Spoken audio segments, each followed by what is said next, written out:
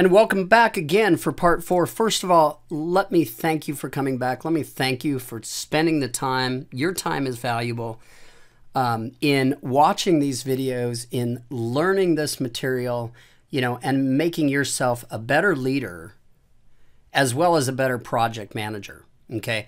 Because the fact is, this is what it all comes down to. It all comes down to our interaction with people, how we promote people, how we coach people, etc. So let's move on into the idea of ethics and leadership from part four of leading the project team. So when we talk about ethics, those can be defined as a set of moral principles and values. Now, this doesn't just mean your personal ethics. This can mean cultural ethics within an organization. So we get to see how we're supposed to act into an organization. So even though we're ethical and we hope that we would bring our ethics into the organization, if the ethics of the organization contradict ours, we're going to end up with serious challenges. And this could mean we we leave the organization if they're doing things we don't agree with. All right? this is where whistleblowers come in. And we make such a bad deal of whistleblowers when the fact is, if things are being done that are unethical, that are going to affect people's safety, uh, that are going to affect people's investments, we need to speak out. So, ethical dilemmas arise when our personal values come into conflict. And again, this can happen amongst people, this can happen within the organization. Trevino and Nelson define ethics as the principles, norms, and standards of conduct that guide individuals and groups. And the fact is, I'm sure you know people that you know aren't very ethical. You know, whatever it is, cheat on their taxes, cheat in their relationship, whatever it can be. Culture, however, is defined as a shared, you know, as shared beliefs, assumptions, and values that we learn from a society or a group. Thus, we learn from the people we work with. We learn from people on the project team.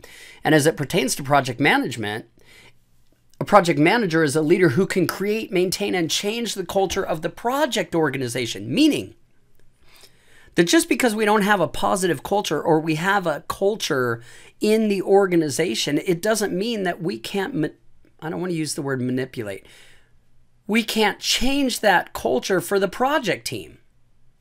So if there are things being done in the organization that challenge the culture of the project team, we can build a different culture. But understand, we can also build a negative culture.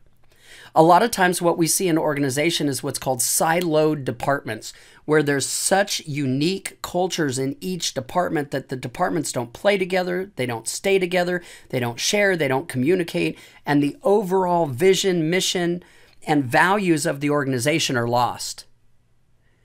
So it all starts again with leadership at the top, building a culture for the organization and moving that into departments, into project teams, and onto the manufacturing floor or into the software that we build. So, ethics versus legality. So, when we talk about this, of course, if we're a publicly traded company, there's a bunch of legal stuff we have to follow. If we're a healthcare organization, we have to follow HIPAA. That's legal. Okay, we can actually be unethical within legal situations. That doesn't make it right. So here's sort of a matrix that says, okay, if it's unethical and legal, here it is right here, unethical and legal, that's not always clear. If it's ethical and legal, that's clear. And we're clear on the other side of things that are unethical and illegal. We're just not going to do them. Or we're going to understand the risk if we do. You know, if it's ethical but illegal, and of course, there are things that fall in that. Laws have been created that make things not necessarily, depending on your own ethics, ethical. But in fact, can be legal or can be illegal. Ethical leadership talks about socialization, which is a process where people who are brought into the organization learn its culture. So, leaders tend to be able to implement their own emotional intelligence, their own culture of self, if you will, into an organization. Okay? But people coming in at the lower levels end up having to adhere to the established culture until they get an opportunity to change it. And a lot of times, culture is a reason people leave an organization if the culture doesn't match theirs, their morals, their values, their mission. Okay. New people learn not only, you know, how to dress appropriately, but, you know, but what behaviors are acceptable, unacceptable. Subsequently, socialization can encourage or discourage ethical behavior. So, again, who we surround ourselves with determines who we are willing to be. And that same thing plays into the organization and the culture of an organization. Okay. So, unethical leadership, usually weak moral individuals, weak moral managers. Um, here's an example. So, Al, Chainsaw Al Dunlap, a successful business leader, but was known for emotionally abusing employees. Sounds like he didn't have emotional intelligence himself. Subordinates were expected to make the numbers at all cost, right? And I gave you an example in a previous thing of the the whys, right? The Japanese why theory, where we go past the initial why and we try to find five whys. I think I gave you the example of getting a new gas tank for an automobile from a alternate manufacturer. Why did we do that? Because our primary manufacturer couldn't produce them. That's the first why. But then we get down to it. The reason we found an alternate is because we needed to produce so many cars in order to meet the numbers at all cost. But then we find the other why, which is the reason we're trying to meet numbers at all cost is because managers got a huge bonus if they met the quarterly or the yearly quotas. That's the real why. So then what happened is we got those gas tanks and they started exploding. And they created a lot of cost and a lot of damage to the organization, both as our reliability, as our quality, and then, of course, legally and financially.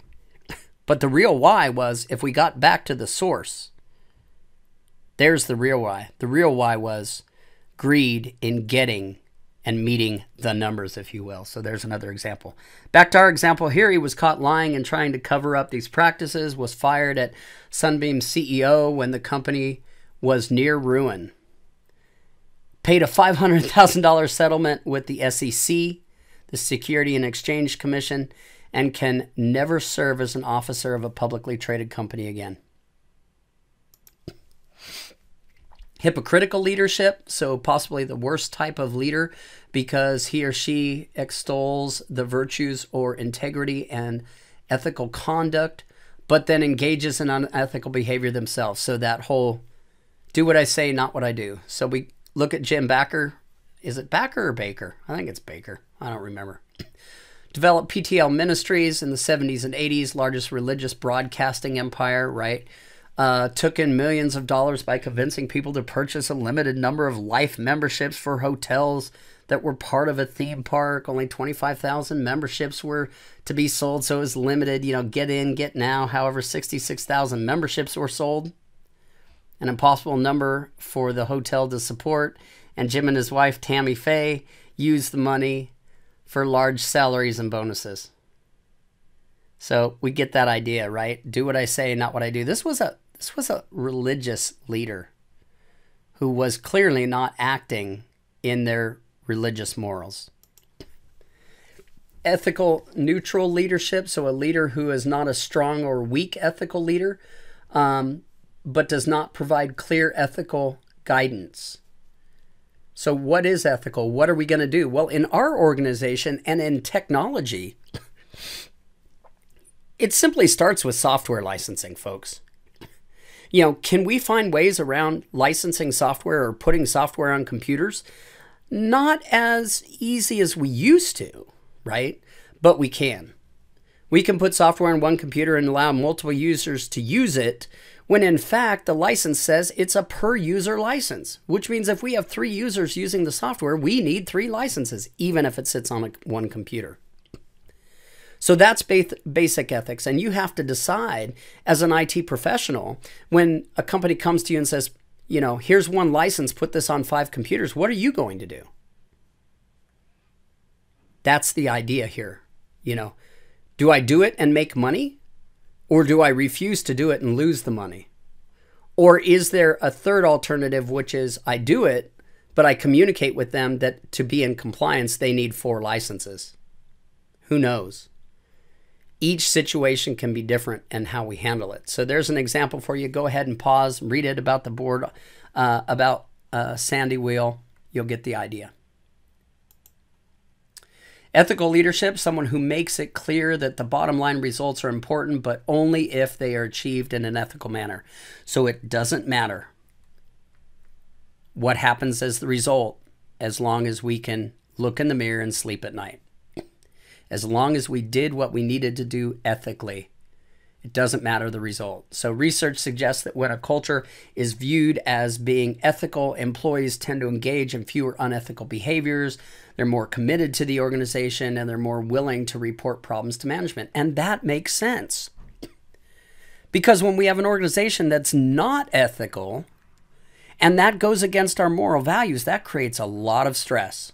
People will leave the organization over it.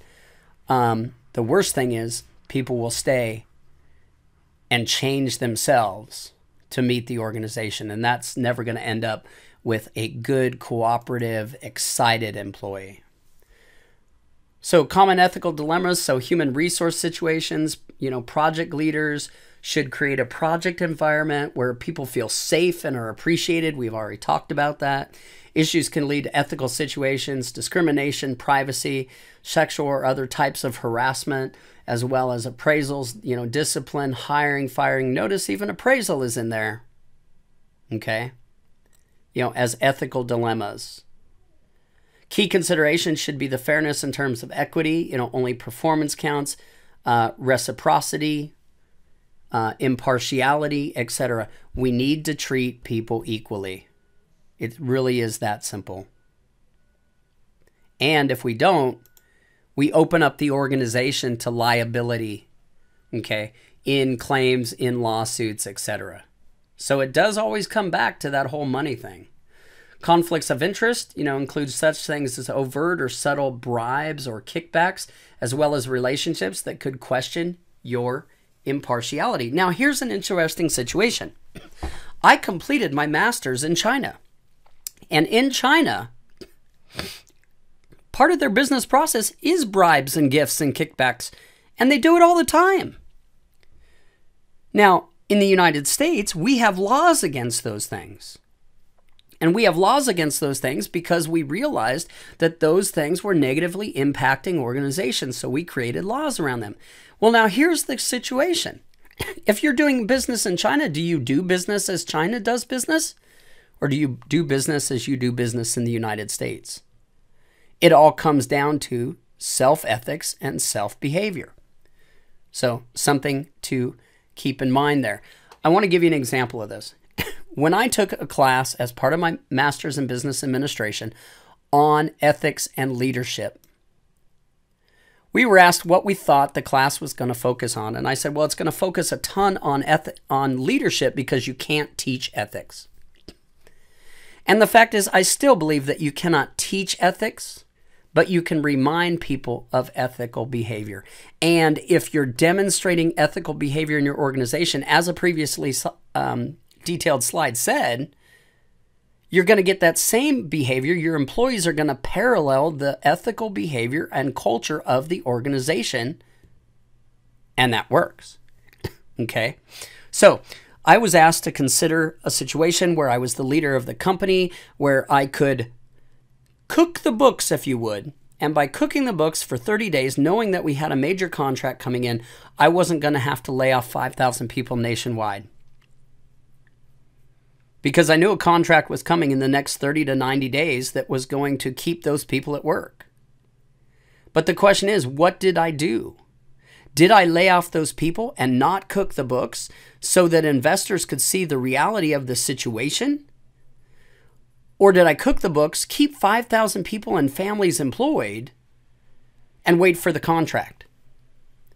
And the fact is, that's what we were asked to write a paper on. And I simply wrote the paper to say, I can't honestly today tell you what I would do. I'm not in that situation. I'm not looking at 5,000 people who have family wage jobs with my organization that are about to lose their jobs when the fact is I know a contract's coming. Uh, maybe it's even guaranteed that it's coming. I don't know what I would do until I'm sitting behind that desk. And that for me was the honest truth. Now, I did go into brief detail of what I think I would want to do, but the realization is until I'm in that situation, I don't know what I would do. Because would it really be that ethical or unethical to keep 5,000 families employed?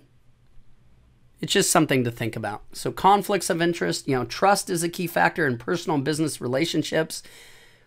And conflicts of interest can weaken trust if special favors are extended to only a few people. So, again, treat others fairly, treat them equally.